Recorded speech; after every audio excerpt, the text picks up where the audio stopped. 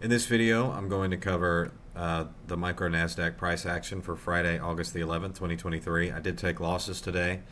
Uh, I'm down 500 on the day on my Top Step Trader account, so I'm up about a thousand on the week, uh, but down 500 today, Friday, August the 11th. Um, and so I'm having difficulty with August August price action. I'm going to go through Friday's price action and tell you uh, what I think price did, and then. Um, you know what I think that I am what I'm doing wrong. So right at the start of the day on the open when we got to the 0950 to 1010 macro I started trading at 0950 we ran up into the opening range gap and we almost hit 75% of the opening range gap and we tagged some prior price action here um, so the 0950 to 1010 macro delivered us into buy side liquidity. And then as we got into the the next macro time, which is 1050 to 1110, we uh, we came down and we we delivered into sell side liquidity. So we we on a very high resistance liquidity run, we ran down into these lows and uh, and delivered them. And at that point of the day, I think I was up. I I didn't. Uh, yeah, I didn't end up uh, losing until later in the day. Um, so the the 1050 to 1110 macro delivered us into liquidity. And then 1150 to 1210 delivered some short-term buy-side liquidity. I thought we might end up drawing higher. We did not. Um, the New York lunch lunch session failed to deliver us. So this is where I started getting, I started taking losses. I really thought we were going to make a new low on the day. Um, I thought we were going to come down and run these lows, and I was thinking that the entire day. For the remainder of the day, I was like, all right, we're, we're probably going to make a new low. We did not make a new low. Uh, we just kind of chopped around and did nothing. Uh, so that's kind of where I got a little bit lost. But we, we ended up running on on these lows and we traded into a one minute fair value gap. We drew up at the end of the lunch session, basically, we drew back into this uh, rejection block, traded down again, again, not delivering these lows. And I'm sitting here thinking to myself, like, why is price not taking out these lows? I really thought it was going to go for that sell side liquidity rather than leave it intact. I mean, it usually does. So the start of the day kind of performed as I would expect, right? Drop into the opening range gap and then draw down into sell side liquidity. Really what, what I would expect from price. But then chopping inside of a range is not what I expect from price. I do expect the NASDAQ to take out its liquidity targets. Um, as we came into, so the lunch session delivered some short-term buy-side liquidity here, basically, and then and then it did some chopping around. Um, the as we came into the the the lunch session, let's see if we had a silver bullet. I'm sure it was in there, but basically we ran short-term buy-side liquidity. So price ran short-term buy-side liquidity after failing to deliver sell-side liquidity. We we ran these three short-term highs.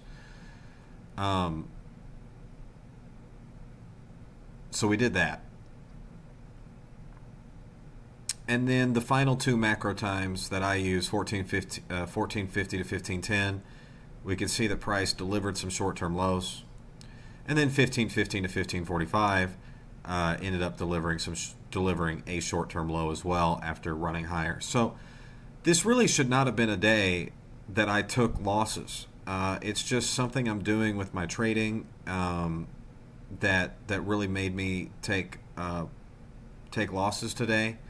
Uh, I see what Price did now. I mean, it, it, wasn't the cleanest day on earth. I mean, we could see the, the long the long wicks. Um, but it really should not have been a day that I was taking losses. So, why do I think that I'm taking losses? Well, I'll show you the executions. I think it goes without saying, looking at this, that I am scared to lose money now I, I was so long gambling and gambling and gambling, not afraid to lose money. Now that I have my express funded account, I am afraid to lose money. Now, a lot of these are partials. Um, But I am kind of afraid to lose money now. And that's a problem. Um, you can't be afraid to lose money. So let's say that you're playing from 0950 to 1010 and you think that price is going to drop into the opening range gap. Where would your stop go? I mean, honestly, you could take any one of these long wicks, take a wick there, and what you would want to do is put your stop below the mean consequent encroachment of one of these wicks. That would be a fine place to put it. Or if you uh, saw that price made an inverted fair value gap right here, right there, your, your stop would go right there. And just let it run. I mean, honestly, don't let yourself get tagged out. Just let it run. Because um, Price was doing today was just tagging everybody out with the long wicks.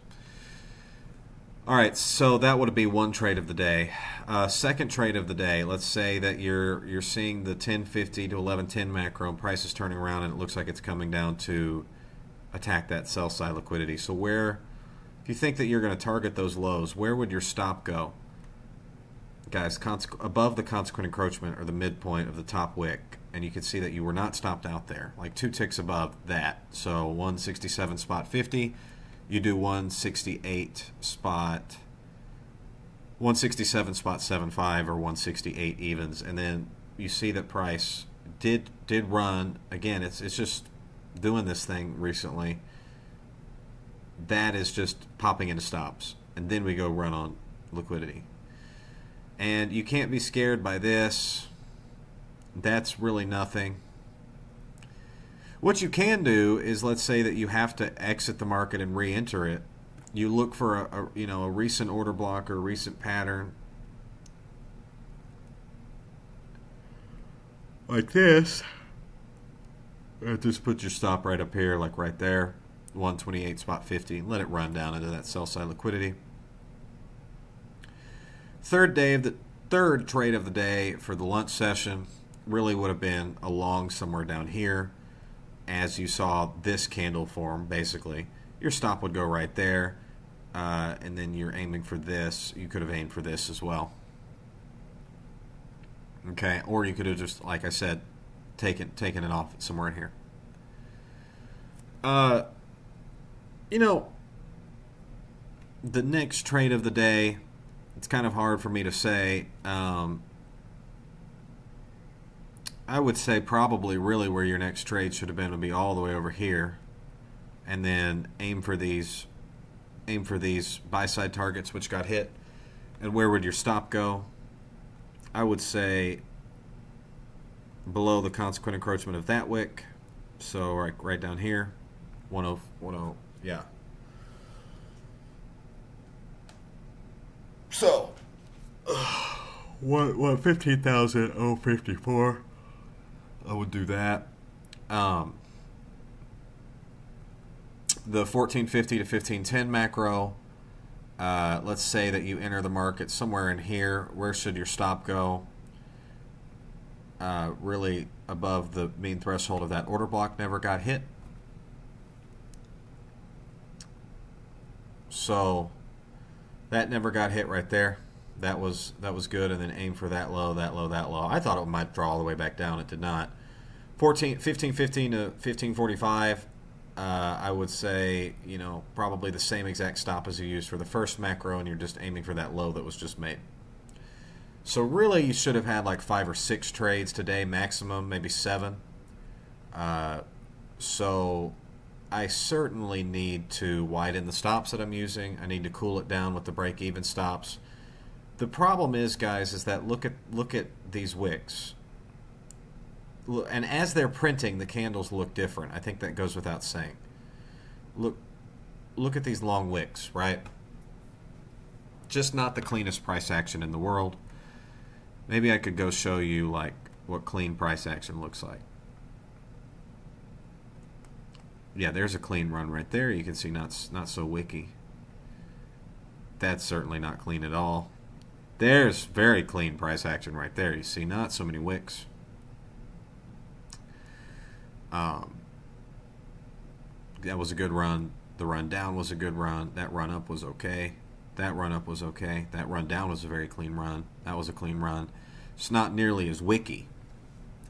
Uh, So, you know, it's easier when price is actually moving and it's not wicking so much and it is delivering its liquidity targets. It's just an easier market environment to day trade.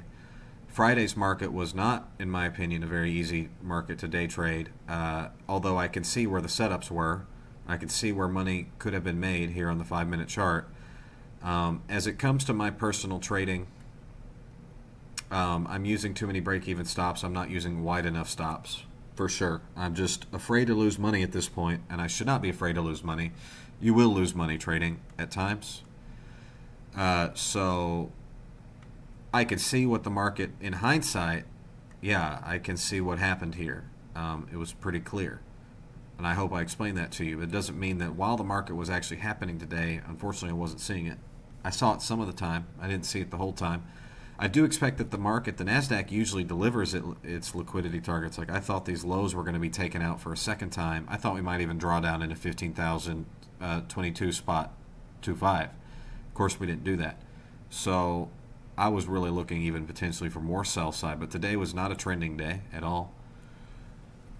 Um, so AM session macros worked. The lunch session delivered some short-term buy-side liquidity. PM session macros worked. It's really all you can expect from price.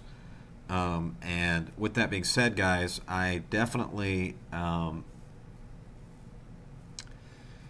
yeah, I definitely, definitely did not trade my best today. I think that goes without saying, and I think that I do have to focus on my Top Step account. I mean, I like having my TradeStation account, but I think I'm just going to have to leave that for a while uh, and focus on my Top Step account and focus on taking partials and focus on you know not trading to 0950 uh, looking at next week economic calendar we have retail sales coming up on august 15th that is tuesday.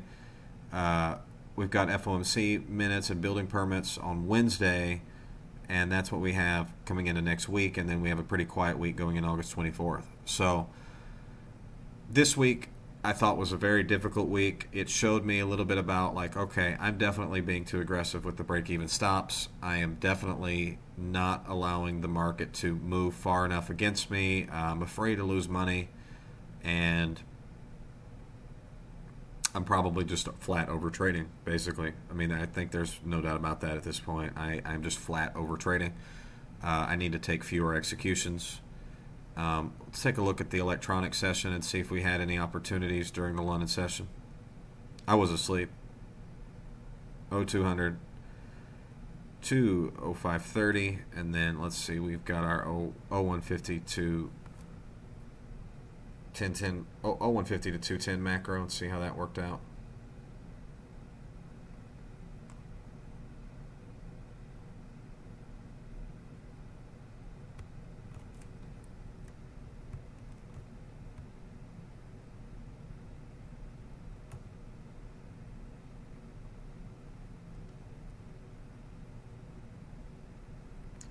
Yeah, so the 0150 to 210 did deliver us into uh, short term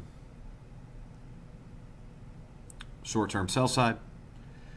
And then we shortly turned around and ran on that buy side, ran on that buy side.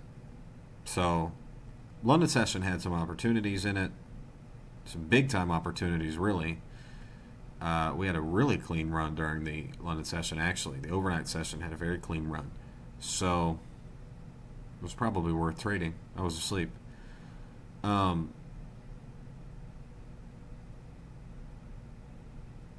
yeah, I mean, guys, it's just I have to widen the stops. I have to stop being so aggressive with the break-even stops. I've got to let these things run further. I mean, remember to it and through it like that. That those were all very clean. All the all that sell side ended up getting getting ran, uh, and then we drew much further lower. So I think it goes without saying, guys. I know what my mistakes are at this point. Um, I'm just not. I'm just uh, afraid to lose money. I'm I'm taking too many trades, too many executions. I'm I'm paying too much in commissions, um, and uh, I'm I'm being way too aggressive with the break-even stops. I'm not I'm not trusting my own judgment in terms of my stop placement. So I need to use wider stops, I need to take fewer executions, and I need to stop being so aggressive with the break-even stops. And I probably need to wait longer for taking executions. And I need to focus on trading this uh, Top Step Express funded account so long as I have it. Focus on that. Just trade this one, and I'll leave the remainder of the money I have in my TradeStation Live account. I'll just leave that in there, and uh, and just focus on trading Top Step. I'll just trade one account. I'll trade Top Step. So those are all those are all my mistakes. I know what I have to do. Um, it was a lost day today, but it wasn't the you know I made it. I made one K back on the week, so I've got I've got a ways to go before I'm going to be positive on this account. But I haven't lost it. I've still got a free account to trade with, and that's what I intend on doing. So far, August has been difficult. I'm not going to lie, it's been difficult. I thought that July's price action was much easier. Um, this is very wicky, very, very wicky, and you need to use wider stops. Okay, guys, this has been a review of Friday, August the 11th, 2023.